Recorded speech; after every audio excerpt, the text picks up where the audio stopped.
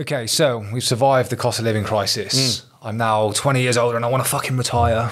How do I do that? What, what does that even mean? Well, what does that even mean? I mean, you get to that point and you think again, this is a trigger point. And we always say to people, this is a great time to review because all of your, you've been in an accumulation phase of your life. Uh, till then, you've been trying to accumulate wealth, trying to build everything you do, positive cash flow, accumulate, save, and all the rest of it. You're then changing your entire view to, with all due respect, an almost decumulation in some cases because you have a way you want to live your lifestyle. And therefore, there comes a decision point where you have to think actually, what income do I need in retirement to retire? Can I afford to retire? Um, and this is quite a sobering point for some people. Some people don't even want to retire because they think, actually, if I stop working, it will affect my mental health so much because I won't have purpose. And this is something we understand as men, you've got to have purpose. Um, that they actually go to what's called, uh, I heard recently, a twat. Uh, Tuesday, Wednesday, and Thursday. They just reduced their hours. Tuesday, Yeah, Wednesday, this is- that's yeah, kind of- Tuesday, yeah. Tuesday, Wednesday, and Thursday, a twat. Um, so they become a twat, um, quite literally, um, and because that for their mental health and their mindset is much better. They have the purpose of getting up a few days a week. You know, they have long weekends. You know, and that for them is more important about lifestyle. They're still earning some money. They're not so worried. So you need to assess and have a decision point about what income do you need? What re- first of all, what does retirement mean for you? What income do you need? But also, what capital do you need behind you to sleep well at night? And this is something we talk to our clients about, along with you know the three key points. You know your income tax situation, your capital gains tax situation, and you're getting to the stage with all due respect, you should start thinking about your inheritance tax situation because you've built up some assets. You might have an inheritance tax situation that you might need to address slowly over time as part of your plan because your plan takes a different point, uh, different uh, you know path at this point. You're all about producing income, making your money work harder. Um, and that's where we really get involved with our clients to discuss this. Um, you know, to really figure out you know, what can your money produce for you uh, tax efficiently. So, you know, that's the next stage. That's you know where you really realise actually all my hard efforts have they got me to this point of you know the path to financial freedom. Have I really got peace of mind to the point where I can now retire? What's the fruit of my labour? If you are in a position where you might have your house because you've been self-employed Hmm. and you go to retire, you look well, you're looking to retire, maybe you're coming up to sixty. Hmm. You haven't really got a very good pension.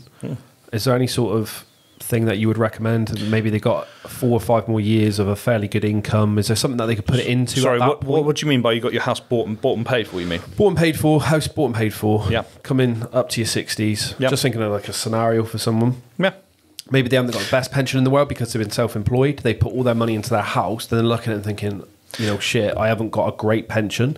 At that point, is there something maybe that they could do to, to Downsize Well, yeah, I mean, you've always got to remember as well, um, and this is something that's quite important for self-employed people. You've got to check that you've been paying your national insurance contributions, because that builds up your uh, entitlement to the state pension, which actually, in today's terms, and I know this because my dad started claiming it, um, it's not it? insignificant. You know, it's over ten grand a year uh, now. Yeah, Is that even still a thing though? yeah. State pension is still a thing? Yeah, absolutely. Oh, is it? Okay, Absolutely. it's just a lot and less than it this, for most perhaps. people, forms a really Everyone good gets a state pension as well. as long as they? you're paying national insurance contributions at the present rules, they say 35 years of national insurance contributions to claim the full state pension.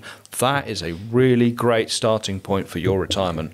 And you've got to obviously reach the retirement pension age or whatever that will be at That the time. that they've been- keeps going on every yeah, year, that keeps it? coming up. By the time we get there, guys, it'll probably be. You know, 75, 80 probably. yeah. It all depends on the, probably what they can afford and the debt situation of our country. But um, at the same time, you know, it's, a really strong, it's a strengthener to your plan.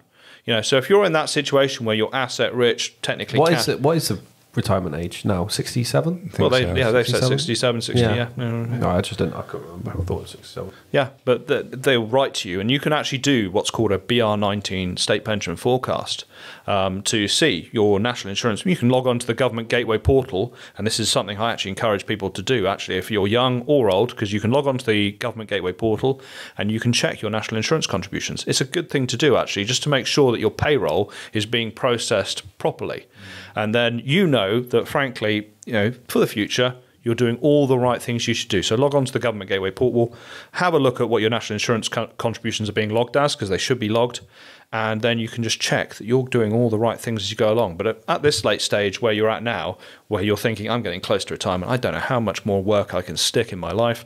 Um, yeah, I think I'll just, uh, you need to check the BR19 do a BR19 state pension forecast, it'll tell you in today's terms you're due a pension um, of X, Y, and Z, which is the full state pension. Because well done, you've worked for 35 years, and we got that record on of you on the system. Um, but that is due on your you know this date on whatever, which might be your birthday when you're 67 or whatever. They will tell you when it's due, and that is the key point. Then you know from that date I will be getting my state pension, and that starts my plan off. I will be on in today's terms, roughly about £10,000 a year, depending on your contribution levels, you know, as a starter. And that helps a lot of people. Well, yeah, that covers most essentials. Well, exactly. It's, you know, it, it's, say? it's not a lot, but it's hmm. equally not to be sneezed at. Yeah. well, it's, it's a contribute, but I think I feel like this is this is why I asked. I, I, this, you know, this is why I'm, I guess I probably come across a little bit ignorant in regard to like the pension situation because obviously the the auto enrollment and the need now to pay into your own pension. Mm-hmm. Um, that's why I, I partly assumed it was gone, but it's probably my, my, my dad just chatting no. conspiracies. No, but it's definitely it's still there. but it's just yeah, it just seems like it must be a lot less now than it used to be, perhaps, right? Because it, it feels like you probably it's probably not enough to live on in today's terms, and that's why you need. The state pension was never designed to be a complete one size, you know, solves all. Um, it was designed to complement the plan of people who had worked their entire lives and contributed to the system, which is, you know, we all due respect, we all moan about paying tax. But someone needs to fund this great society that we live in, and therefore, you know, you suck it up and you get on with it. Um, and therefore, this is effectively just society giving back to you and complementing your plan, so you're not in poverty in retirement. That was the whole idea of the state pension. So no, it's it's not going anywhere from what I can see on the policy side, um, but it is a very good strengthener to people's financial plans at that stage. Um, but if you're getting to that stage and you're in that situation where you're asset rich and cash poor, you should probably seek advice um, as to what your situation is, and frankly, you know, consider accordingly what someone says to you. Because it's all down to context, and there might be a number of other factors going on in their lives.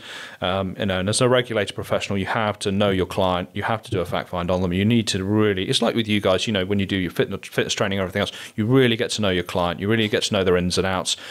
Get what they're saying, you know, in context, everything in context, and then make a suitable plan for them. That is the key point of everything that we do in the industry. And, and someone in that situation really does need to seek some advice because there might be some things that they've missed. There might be some benefits they could claim with all due respect, universal credits, etc., uh, pension credits, and all those things need to be investigated to, frankly, help them recover their plan so that they can potentially retire Yeah. yeah. or just know the situation and carry on. Yeah. know, be balanced. So if someone um, maybe has done quite well in life and they, they want to retire a little bit sooner than you know the, the government stated age of retirement, is there like a general rule of thumb in regard to you know sort of wealth that you would normally sort of suggest when it, someone it all would- comes back to that argument of how much income. What does retirement mean for you? How much income do you need to live off? How much capital do you want behind you to make sure that if something goes wrong, if you need care later on, if you've got a strong income, normally you know you can afford. I mean, care is an incredible cost. I mean, we've got a lot of clients actually who are well, a significant number who are in care or you know about to receive care, and the costs associated with that. And it's a very real thing for I think our generation, our parents' generation, as they approach this age now. Um, the care costs can be incredible. And therefore, you've got to have a consideration of what income do I need to retire? What capital do I need behind me? You know, and also on top of that, if I'm of that way, what do I want to leave behind for my children? You need to plan accordingly. Um, so that's where it really comes down to. Um, on that point, you need to have that discussion with yourself. What do I need to live off? You know, fifty grand a year, sixty grand a year. That'd be nice. You know, lovely. But what do I need to do? What what assets do I need to save to really produce that level of income? And that's where you come in, with all due respect, talk to a regulated financial advisor, you know, um, someone with my background and accreditations, and they just say to you, "This is your plan. This is where you're at. There is a gap. Therefore, or well done, you. You're you're at that situation already. You can retire tomorrow. Great. hey, well, that's, that's words we all like to hear, right? Fucking what a great chat that would be.